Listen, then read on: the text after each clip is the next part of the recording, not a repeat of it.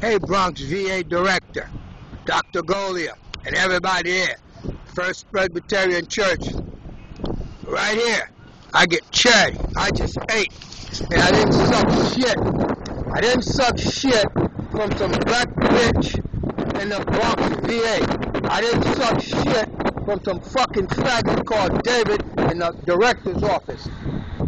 I didn't have to listen to some white woman trying to freaking dismiss me because you're some old broad working the director's office and it's like the nigga complaining too much. Done your job. You're common patient rep. Should have wrote up something from the day I called. She don't like shit. She called you, or rather, I called her, and she want to play my mama. I don't need no Spanish mama.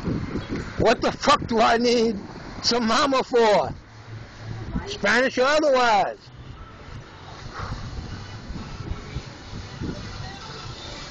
You're a bunch of cheap bastards trying to play like you're somebody different. You're not.